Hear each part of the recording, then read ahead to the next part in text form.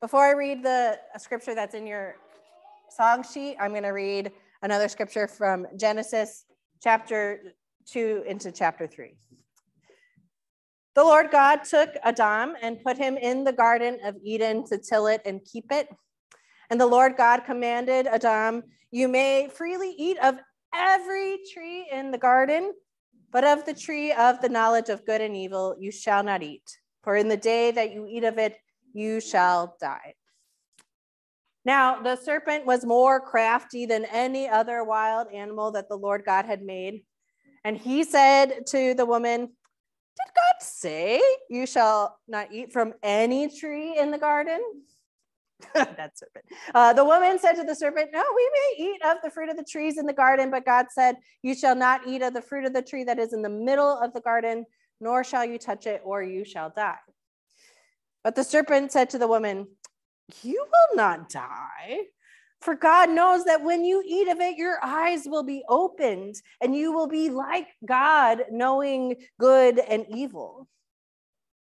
So when the woman saw that the tree was good for food and that it was a delight to the eyes and that the tree was to be desired to make one wise, she took of its fruit and ate.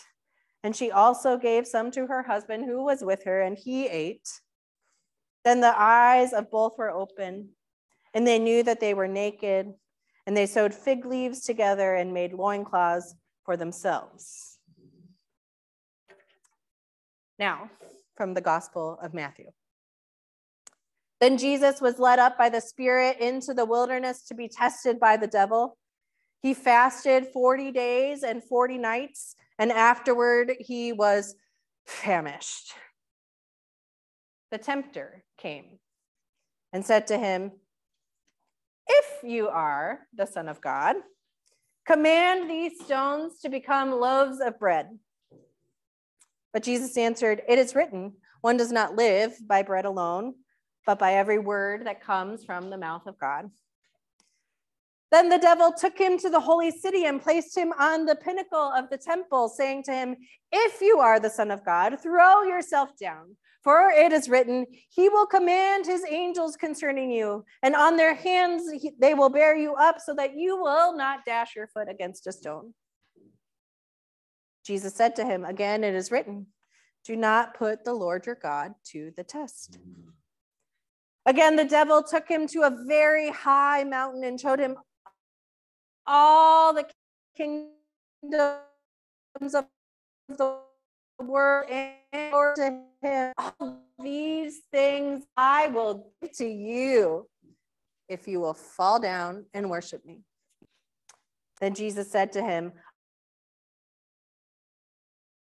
Away with him. Then the devil left him, and suddenly angels came and waited on him. Word of God, word of life. Thanks be to God.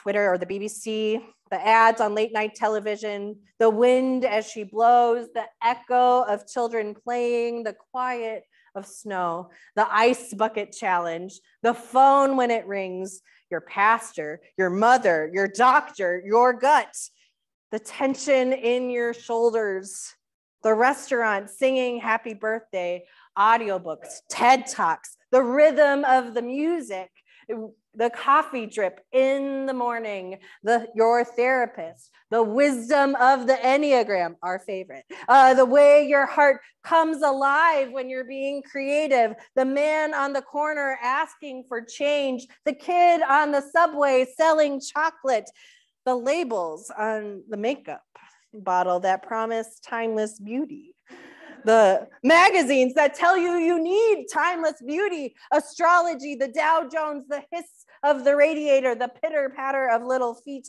financial advisors, the top 40 pop, the top 40 country, the New York Times, the rumor mill, the book of Psalms, your sense of self.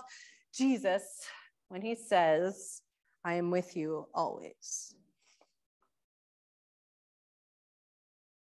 There are so many voices and people and things crying out for our attention. Just hearing even that short list as a poem from Reverend Sarah Speed is exhausting. Never mind the lives we live and the list we could each create for ourselves. We are pulled in a million different directions, many of which are neither good nor bad, they just are. And we each have a million different priorities that are often impossible to sort out because there's just no one right way to do it. But we got to figure it out. Which is why when I hear the question that we have for today, who will you listen to? I, on the one hand, want to like curl up in a ball and say, I don't know. That's why I'm here. And on the other hand, I want to like breathe a sigh of relief and say, Oh God, just tell me who. Please just give me a direction and I will go, I promise. It's the weight of having to sift through all the muck of hearing all the different voices and trying to discern whether or not they are worth listening to that gets exhausting. We long for the kind of certainty that comes from knowing what is right from wrong, good from bad, because we think if I just knew, that would make it so much easier, right? And maybe because I had this question in mind as I read the Genesis story for the today this week.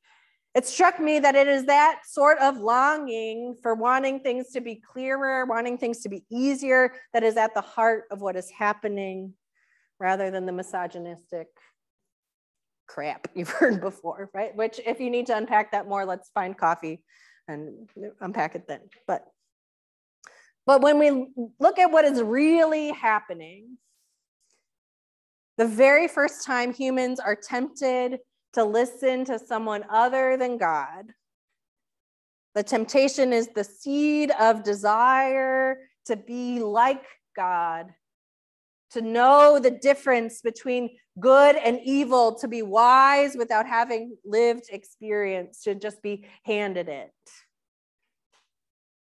The story of Adam and Eve is less about their giving into the voice of another and more about their desire for certainty after first feeling conflicted. Wait a minute, God said one thing, this serpent kid said another. I don't know what to do. Can I just eat a fruit and have it tell me? It's less about the fall of humanity and more about the fear of humanity to live in conflict and doubt. And it struck me that maybe that is a more relatable story than what we've heard throughout our lives, maybe more liberatory for more of us. I wonder if we can rescue the narrative from shame, of sin, of right and wrong, good or bad dichotomy that we humans love to play into, that maybe it allows us to be more honest about how we spend so much of our lives seeking those voices that affirm our preconceived notions. Those voices that say, yeah, you're right. Those people are wrong. Don't pay attention to them. When what we should be doing is embracing the questions we have and learning to be okay in the uncertainty that they create. Maybe that's why this is such an important question to start this season of Lent with.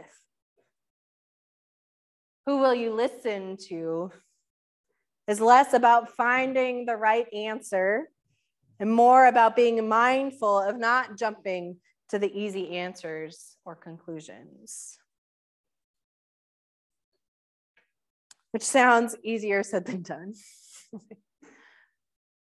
Because when we are so jam packed with voices and stuff and noise, it is hard to discern what are the ones worth listening to and what who will hold us and encourage us to be more complex, who is just offering easy answers. Part of the gift of Lent is it's a time where for centuries Christians have used it to practice creating more space for God's voice to speak more quiet time for discernment.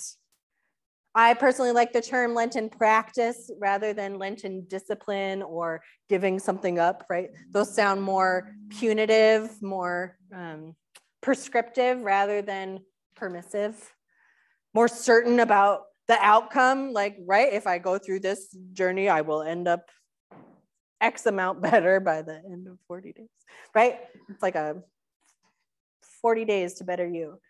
Did anyone see that's the the chyron they used when Mark Wahlberg was talking about Lent? and like Mark Wahlberg was well, day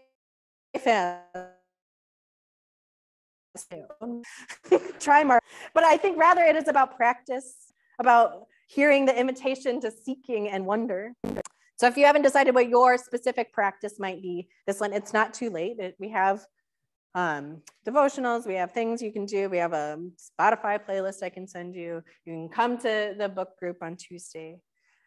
But it could be anything that helps you sort through all that is swirling around in your mind and in your soul and in your life and find some way to hold what is meaningful and complex rather than grasping on for easy answers. And I think modeling that sort of space, modeling that sort of discernment is part of the reason why the Lenten season always starts with this journey of Jesus in the wilderness being tempted by the devil. Also, it's 40 days he spends there, and the early church loves an easy symbolism, right? but here Jesus is hungry and tired, and then faced with the same sort of temptation Adam and Eve faced. Don't you want to be like God? Wouldn't you rather have easy answers, easy power? Wouldn't you like things to be certain in this wilderness that God has sent you to? I would confess I would be an easy target for this temptation, right? Yes, please, I will take all the bread you have and all the power. Okay, thanks. Bye. and yet, here Jesus shows us a different way. Jesus answers the devil's attempt to make scripture black and white by pointing out the complexity of scripture, right? You notice Satan tries to say, oh, the scriptures say this. And Jesus is like, okay, the scriptures say a lot of things. It also says this, right? he refuses to put God in a box. Satan says, oh, God will totally do this thing. And Jesus says, I don't know. Testing God doesn't really work out all that great, right? He rejects the kind of power that would yield kingdoms and wealth sure that the voice he would rather listen to is one that doesn't offer such things so easily. I believe he's able to do that because he has taken those 40 days to sit in the wilderness, to seek, to question, to wrestle, to see the beauty of complexity, to get in tune with that part of him that is God incarnate and that sees the infiniteness of the mystery of God and knows that there is no easy answer. The wilderness has allowed the wonderings and the questionings of Jesus' heart to come to a place not of certainty, but of comfort in the uncertainty, where temptation cannot take hold with its illusion of safety and power and wisdom. It is precisely because Jesus knows that there is no one answer, that he can easily reject the devil's false ones. The line from Spencer's song that Wiley sang for us, and we'll be singing all through Lent, um, that just like is stuck in my head because it's catchy and beautiful, like everything Spencer touches. But um, the line is this Coax your quiet questionings. Speak your soft uncertainties. There is room for these in the land of the seeking. That's what we're hoping to create in this season. A place where you don't have to have the answer or even an answer, but a place where we can give voice to our questions and doubts and uncertainties. Because we think maybe they might reveal something of God, something we wouldn't engage with otherwise if we didn't ask the question. So part of our communal Lenten practice together um, is we are going to listen to those questions with all of us. Each week, uh, like today, you'll have a post-it in your song sheet. It's very fancy. We have, uh, thanks to Chloe, we have fancy textured ones this week. Ooh. Um, so what I invite you to do is throughout the service each week, um, write a question that's on your heart. It might be one that comes up from the scripture reading or the sermon or another part of the service. It might be a question you encounter throughout the week. It might be a question that you have held on to for a very, very long time that you finally just need to speak and put out there. Write it down. If Zoomies, if you write your questions in the chat, we'll write them down on a post-it for you. Um, and then uh, bring it with you just your post-it, bring it with you as you come forward for communion. Um, and over here on the short side, as we make our circle, you'll receive your communion, receive those promises of God's presence. You'll come over here. We have a wonder wall. You can cue Oasis, right? Um, it's a place uh, where we will hold all of the quiet questionings, all of the soft uncertainties, so perhaps that the truths and promises that they hold might speak more loudly in this moment and um, we can listen to them more clearly. Who will you listen to? It probably shouldn't be the voices shouting easy answers. So let's together take this season to practice silence, to practice doubt, to practice complexity so that we might hear the still small voice of God speaking through all the rest. Amen. As Wiley comes up, we have crayons if you need a writing utensil. Um, I don't know, Chloe, do we have extra post-its for people who came in late?